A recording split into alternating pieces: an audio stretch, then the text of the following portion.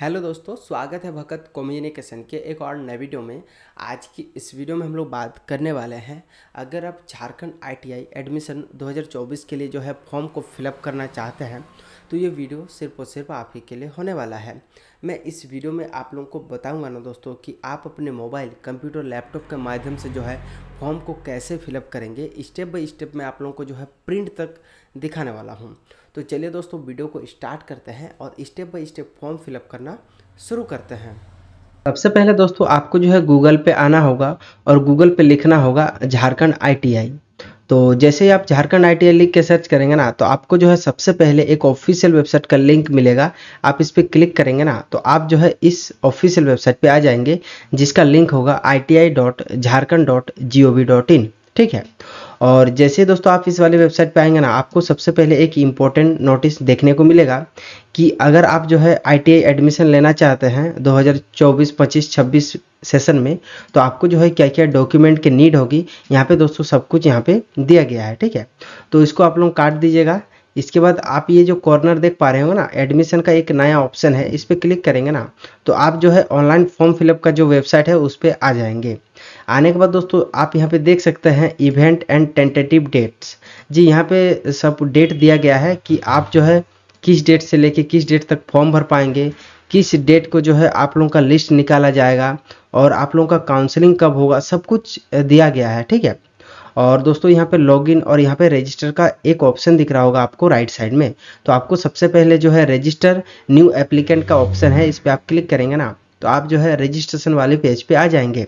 तो आपको यहाँ पे दिखेंगे एप्लीकेंट रजिस्ट्रेशन आपको अप्लाई ईयर दिख जाएगा मीन्स रजिस्ट्रेशन ईयर दिख जाएगा। इसमें आपको सबसे पहले तो आपको अपना नाम यहाँ पे इंटर करने होंगे, जो कि टेंथ बोर्ड सर्टिफिकेट के अकॉर्डिंग होना चाहिए, ठीक है? तो इसमें आपको जो है अपना नाम यहाँ पे फिलअप करना होगा, ठीक है? मैं यहाँ पे एग्ज़ाम्पल कुछ भी फिलअप कर रहा हूँ बट दोस्तों आपको जो है नाम फिलअप करना होगा बट दोस्तों आपको मिस्टर मिसेस ये सब कुछ नहीं लगाने की ज़रूरत होगी, ठीक है? इसके बाद आपको जो है अपने पिताजी का नाम यहाँ पे इंटर करने होंगे। इसके बाद आपको जो है डेट ऑफ़ बर्थ यहाँ पे देने होंगे। डेट ऑफ़ बर्थ देने के लिए दोस्तों आप क्या करेंगे? सबसे पहले ईयर चुनेंगे। ईयर चुनने के बाद दोस्तों मंथ चुनेंगे। मंथ चुनने के बाद दोस्तों आप लोग जो है डेट चुनेंगे। तो इस प्रकार दोस्तों आप लोग जो है डेट ऑफ़ बर्थ को सेट करेंगे, ठीक है? इसके बाद दोस्तों आपको जो है ईमेल आईडी यहाँ पे ईमेल आईडी फिलअप करना होगा और दोस्तों यहाँ पे जो है अपना मोबाइल नंबर फिलअप करना होगा। इसके बाद दोस्तों सेंट मोबाइल ओ पे क्लिक करना होगा।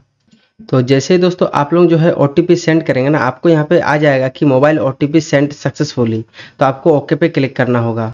अभी आपको ये जो मोबाइल नंबर ओ का ऑप्शन है, इस पर ओ को फिलअप करने के बाद वेरीफाई मोबाइल ओ पे क्लिक करना होगा। अभी दोस्तों आपका जो जो ओटीपी है ना, वो सक्सेसफुल वेरीफाइड हो जाएगा। अभी ओके पे क्लिक करेंगे। अभी दोस्तों नीचे आपको जो है एक पासवर्ड यहाँ पे बना लेने होंगे, ठीक है? पासवर्ड कैसा बनाएँगे मैं वो भी आप लोगों को जो है बता देना चाहता हूँ। मान ले रहे हैं दोस्तों, आपका नाम मोहन है, ठीक है? तो कैपिटल एम यूज़ कीजिएगा ओ एच ए एन आप क्या कीजिएगा स्मॉल यूज़ कीजिएगा। इसके बाद एट द रेट मीन्स कोई सा भी स्पेशल कैरेक्टर पे आप यूज़ कर सकते हैं। इसके बाद वन टू थ्री या फिर थ्री टू वन कोई सा भी नंबर आप इसी फॉर्मेट में जो है पासवर्ड को रखेंगे। पासवर्ड को यहाँ पे फिलअप करेंगे। पासवर्ड को फिलअप करने के बाद दोस्तों, फिर से आप जो है यहाँ पे पासवर्ड को कन्फर्म करेंगे, ठीक है? इसके बाद रजिस्टर नाव पे क्लिक करेंगे। अभी दोस्तों आपको जो है एक यहाँ पे नोटिस दिखेंगे कि आपका जो रजिस्टर रजिस्ट्रेशन है दोस्तों वो सक्सेसफुल हो चुका है, जो कि स्टेप वन कंप्लीट हो चुका है। इसमें आपको अपना एप्लीकेशन नंबर दिख जाएगा, आपको अपना नाम दिख जाएगा, इसमें आपका ईमेल आईडी दिख जाएगा, ठीक है? अभी दोस्तों आपको ये जो नीचे एक लाइन दिख रहे होंगे, ठीक है? इसमें क्लिक हेयर का एक ऑप्शन है, इस पर आप क्लिक करेंगे।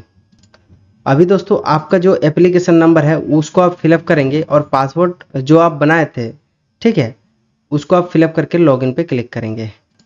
अभी दोस्तों आप देखेंगे ना, आप सक्सेसफुली जो है लॉगिन कर लेंगे। इसके बाद आपको जो है यहाँ पे एप्लीकेशन नंबर दिख जाएगा और एकेडमिक ईयर भी आपको यहाँ पे देखने को मिलेगा। अभी आपको अपना नाम, आपका पिताजी का नाम, आपका यहाँ पे मदर्स नेम आपको जो है यहाँ पे इंटर करने होंगे, ठीक है? आप यहाँ पे अपने माता जी का नाम लिख दीजिएगा date of birth already fill up हुआ रहेगा मोबाइल नंबर और ईमेल आईडी भी ऑलरेडी फिलअप हुआ रहेगा। इसमें दोस्तों आपको जो है अपना आधार नंबर यहाँ पे जो भी आपका आधार नंबर ट्वेल्व डिजिट का होगा उसको आप यहाँ पे फिलअप करेंगे ठीक है? इसके बाद दोस्तों जेंडर आप मेल है फीमेल है वो आप चुनेंगे। इसके बाद नीचे आएँगे ना दोस्तों ये जो रेसिडेंशियल स्टेटस है ना आप इसमें देखिए परमानेंट रेसिडेंट ऑफ़ झारखंड या फिर लोकल रेसिडेंट ऑफ़ झारखंड आप इसमें आप, आप अपने अकॉर्डिंग चुन लीजिएगा ठीक है?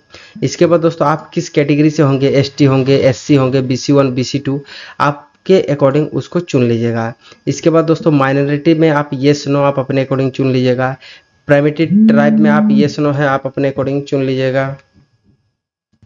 इसके बाद देखिए, एक सर्विसमैन का ऑप्शन है। अगर आप एक सर्विसमैन है तो येस नो आप अपने अकॉर्डिंग कर लीजिएगा। पर्सन विथ डिजेबिलिटी अगर आप लोग जो है विकलांग कैंडिडेट है तो येस नो आप अपने अकॉर्डिंग कर लीजिएगा, ठीक है? इसके बाद अप्लाइंग फॉर आप यहाँ पे देख सकते हैं एट पास के लिए आप अप्लाई कर रहे हैं या फिर टेंथ पास के लिए या फिर जो है बोथ के लिए अप्लाई कर रहे हैं।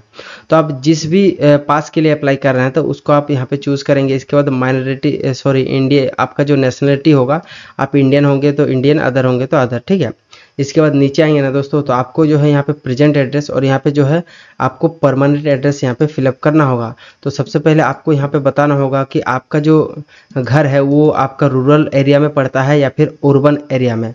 तो अगर आप लोगों का गाँव देहाती एरिया है तो रूरल चूज़ करेंगे अदरवाइज़ अगर टाउन है तो अर्बन यूज़ करेंगे, ठीक है? तो इसमें दोस्तों आपको जो है कंप्लीट एड्रेस देने होंगे।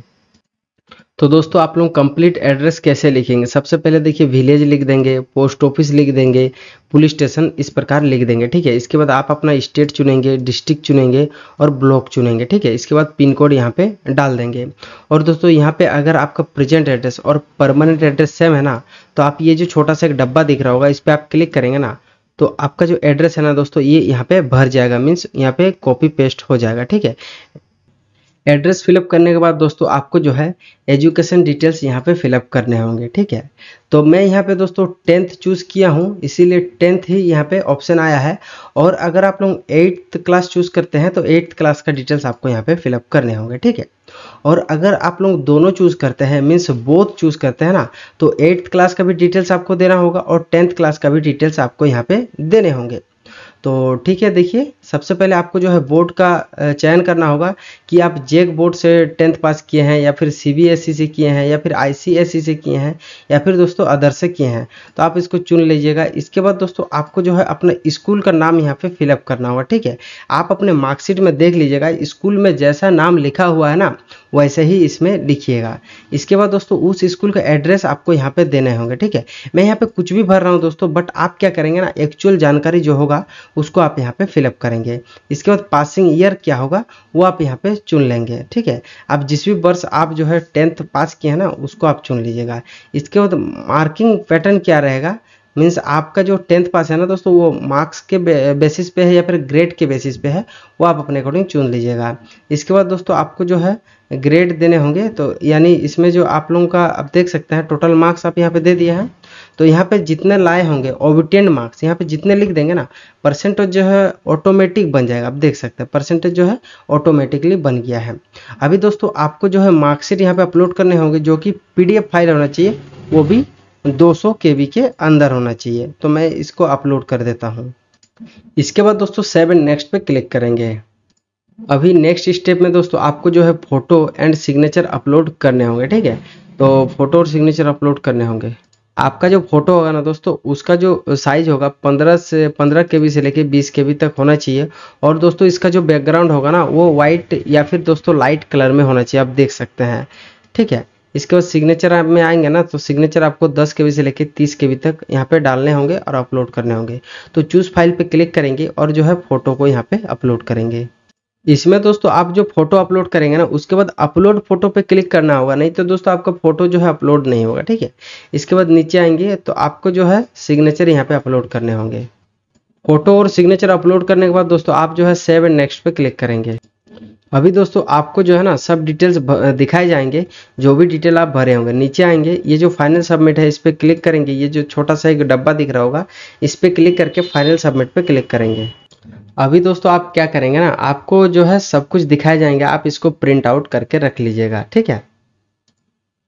तो दोस्तों इस वीडियो में हम लोग जाने ना कि आप जो है आईटीआई एडमिशन 2024 25 26 के लिए जो है फॉर्म को कैसे भरेंगे स्टेप बाय स्टेप मैं इस वीडियो में आप लोगों को जो है कंप्लीट बता चुका हूँ।